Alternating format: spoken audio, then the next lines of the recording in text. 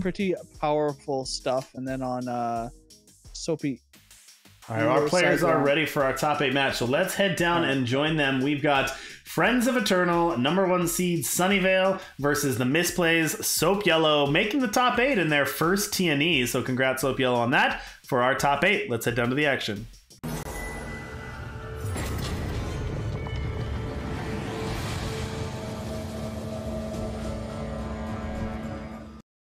All right, Alright. welcome everyone to the feature match. We've got Sunyveil at the bottom of your screen, looking at a hand. Two power, Permafrost, D'Angelo, Hound. Uh, that's not Houndmaster. Which is this D'Angelo? Strong Arm. Sorry, D'Angelo Strong Arm. Char, Flash Fry, and Crafty Occultist. I was like, wait, when did this get did this get nerfed mid tournament? Not quite. Yeah, it, it plays an urn, a, a relic, notably. So Hmm. if uh, if the urn is not a uh, is not a factor in the game, they can sack it to uh, l- to Rocket Blaster to deal three. Um, uh, Subby Yellow's hand. I'm not too sure about this hand. They don't have any fire, and they do have a uh, a Houndmaster and a Varbuck in hand, but they do have the uh the um Dovid as well as Manacle. So maybe they keep it. I don't know. I would not. Nope, something to toss that back. Three power, Midnight Soul, Mid Chief Solace here, Flash Fry, Daheen Blitz, and a Permafrost. Gonna keep that one. Pass it back to Soap Yellow, who's got D'Angelo Houndmaster, Dovid, Valruk, Argo, and Manacles. And all three factions needs double fire, but can at least play out their units on curve. So this Dovid's gonna come down. It's gonna be permad. It's gonna be a good time. yeah, gonna have to perma though, because you know what matches up well against a 3-2 quick draw is a 4-4 for 2. Yeah. Exactly. They could play auto tread and discard to uh wait. wow, that's a bold the- attack. What a Look at Sunny well, with they've the flash check. fry. They have the they have the flash fry in hand. That's Mm, right. That is a they fast though. That's fair. Okay, still, still a pretty good attack there for Sunny.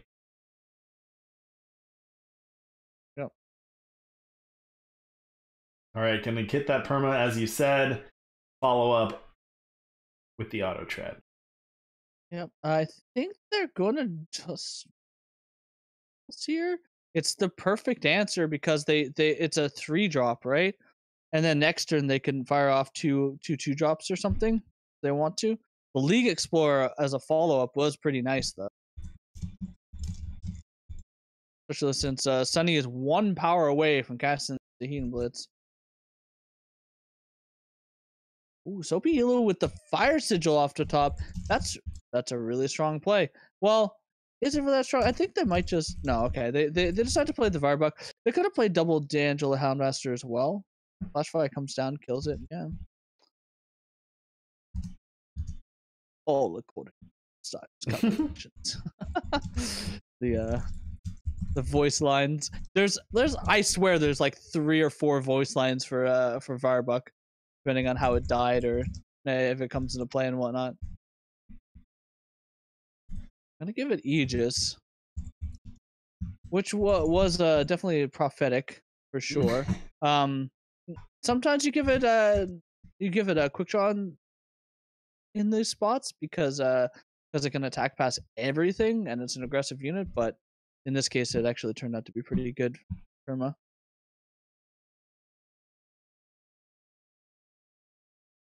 All right. And look at all these stunned units. As you may, you you you called it. You said that this was the the challenge of the stuns, and here we go. Stun, stun, stun across the board for Sunny. Soap Yellow is still at 18, but we do have a Daheen Blitz. As there's a nice top end of the curve, plus a Dara Lee. Both of those can make five attack flyers uh, when the time is right. Sunny playing it patiently, you know, not playing out the Dara Lee. That's a, it's a really awkward time to play out the Dara Lee when you have four or five power. It's like it's not really what you want to do. You kind of just want to hold it. Perma comes down, hits the League Explorer. All right, they can attack with both. This is a um, this is a Jada. Oh, this attack isn't great into it, although they, they kind of need to to do it because they need to pump up this attack. Yeah. Although if they if they do it and pump up the attack, that means that both soldiers will have a good response. Although they can they can then play a Darli to block, so so that they can make it an 05. I don't know. There's uh, there's a lot of different lines here. Soap Soapy also has the Argos technique, right? So that can give the Jada plus two plus two in lifesteal. That's true. Which can actually just eat. I think it just eat the Amarok, right? Right. Yeah, it becomes a a two seven after all all is said and done. They have to think about what Sunny may have to, but in the end, I think that that's oh they didn't do it. No, didn't do, did it. do it. Just gonna take the block. Make an 05. I wonder what. So Sunny had what two? So maybe another flash fry blows that out.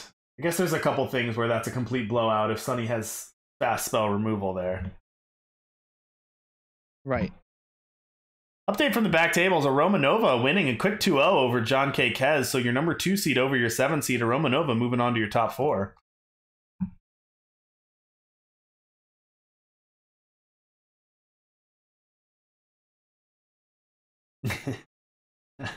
I just see in the chat. Uh, yeah, I, I thought it was uh, soap yellow, but I kind of like soapy elo. soapy elo is pretty good. is it? Is it? Is it soapy yellow? Uh, I think it's soap yellow, but uh, but yeah, soapy. Your okay. soapy elo for your elo rating is pretty good too. yeah, Slippery. that, that's what Slips I thought it was. Sorry. it's very volatile. It's it's a sli- it's a slippery elo. Big attacks coming in thanks to that Argo. Now, of course, the double damage on a zero attack doesn't do much. All right, permafrost. Permafrost can hit the, the uh, the Argo from attacking. It can Argo also... from attacking. Yep. I think this is still lethal though if he yeah. does that. Even if you do that. Boom, boom. No, it's not not quite right. Well, you get two Houndmaster triggers, right? Oh, only if it's tandem though. Hmm. Yeah. yeah. Anyway. Alrighty. Anyway, Soap Yellow going to take that first one over Sunny. Go up one game. Remember, these are all best of three, of course. Right. So while they're getting set for their second one, doesn't look like we have any other results yet. But we will take a look. Is there a is there a key to this uh, to this matchup? You think being on the play obviously helps. Right. Um. What sort of uh, what are, if if someone's playing this match this weekend? You know, on either side of this deck, what are you what are you looking out for in this type of matchup? Aggro versus aggro. I, I think in general you want to if you're on the play in the aggro matchup you want to be the beatdown. If you're on the draw, you kind of a little bit controlling. Mm-hmm. Um. So that means that it, you want to be doing things like uh, if you're on the draw, you want to be using your spells, right? You don't want to be you don't want to be as much playing to the board because you want to you want to well, you still want to play to the board and protect, but you you you force trades more often, and you want to be using your removal spells uh, instead of instead of playing to the board a lot. That's in general what I see mm-hmm. as a as the way to win um, aggro mirrors, but um, obviously that, that depends on the texture of your hand and whatnot too. Uh, you can you can be on the draw and still uh, still ha- uh, still be able to force the issue if your opponent has a slow draw, for example. All right, so Sunny keeping one, two power, although both depleted. Yeah, both. I guess you could potentially not both depleted, but it's awkward. Um, and then you have an auto tread, a D'Angelo Houndmaster, and two Valise Bear Riders. On the other side of things, Soapy's looking at three power and a seek power, and then an Iron Priestess, a D'Angelo Houndmaster, and a Valise. Soapy also on the play. Helpful. Sunny drawing a Daheem Blitz, so lots of top end for Sunny here, but actually works out pretty well because they've got the auto tread and the Houndmaster for the early plays too. Actually, pretty ni- pretty nice there for Sunny. I think I missed this Primal Sigil the first time, but yeah, that's going to allow a much better curve here. Ooh, Mid-Chief Solace is good too. Yep, and I think that's what you play. Oh, they play a D'Angelo Houndmaster. Interesting enough, they they value the um they value the Houndmaster a little bit more than the uh, or the the Meat Chief Salus more than the uh, Houndmaster. It is maybe they're trying to force out uh, some removal. Yeah. Maybe, maybe they mhm. just know that Sabila doesn't have that much removal in the Hmm. deck, and it's all stun based. Interesting, interesting stuff for sure.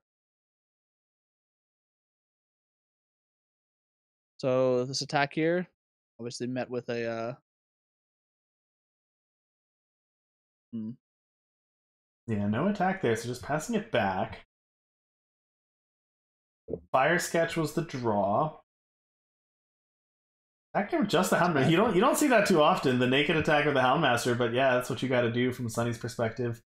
Well, he couldn't have. Uh, he couldn't have played the hound. He needs to. Right, you couldn't play the hound next- anyway. Next turn, next turn they can. Yeah. Just not something If- you see super often. Alright, here's Yeah. the Valise. So Valise also has the powerful. So this tandem ability, I think we had enough time to to come to a understanding of the tandem ability with the new campaign, the new set that came out. I think it's been very powerful. I think it's pretty much changed it.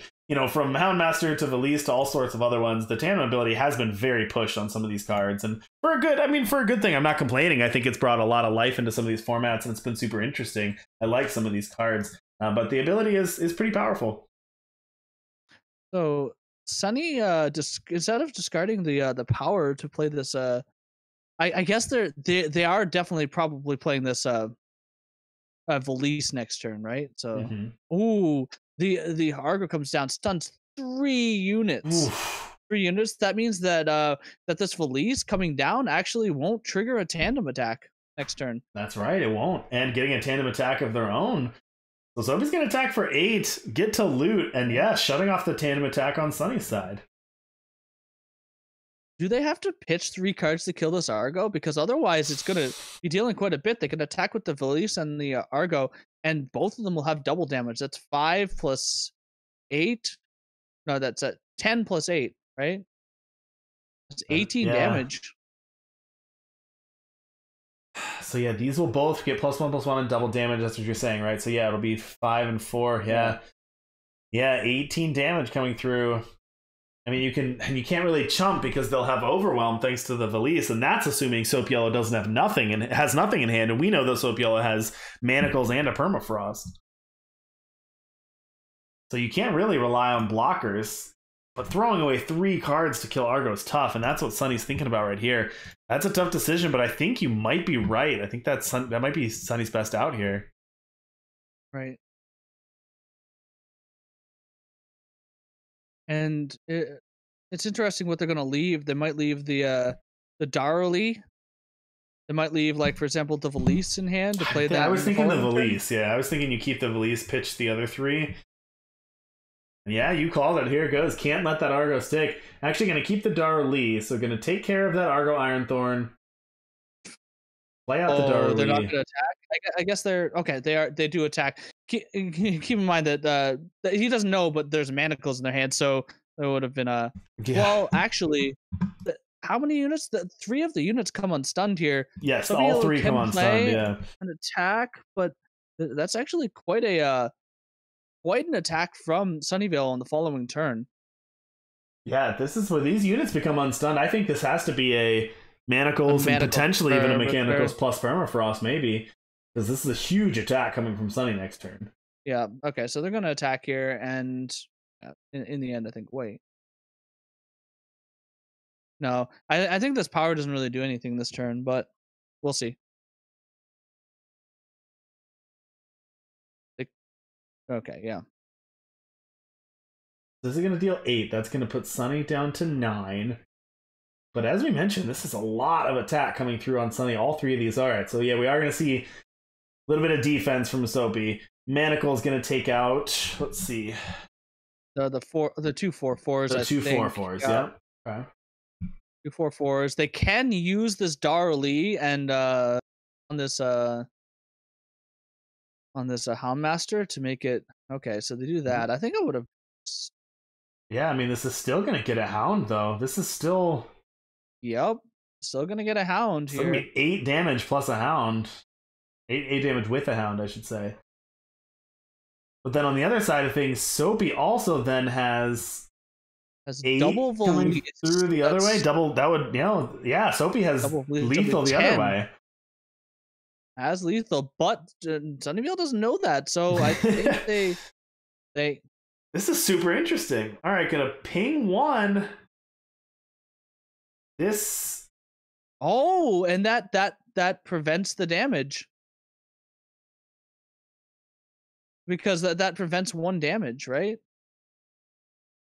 Oh, but they discarded the card. That perma would have been really yeah. super helpful. That perma would have been really good. All right, second Valise, but this is gonna get plus two plus two to both. oh, but they they have an Argos. oh, they have an technique Argos hand. They- technique. That's gonna be enough. Actually, I think it's enough It's gonna anyway. be enough. Yeah, it's gonna be enough. No, it yeah, it is enough. a- Yeah, anyway. ten overwhelm was gonna be enough anyway. But yeah, plus the technique would have had it either way. But yeah, super interesting match. Well done, Soap Yellow. Congratulations. Taking down the king, Sunyveil. Uh, well done. So, condolences, Sunyveil, on a 5 0. Got those five points. But congrats to Soap Yellow on taking that.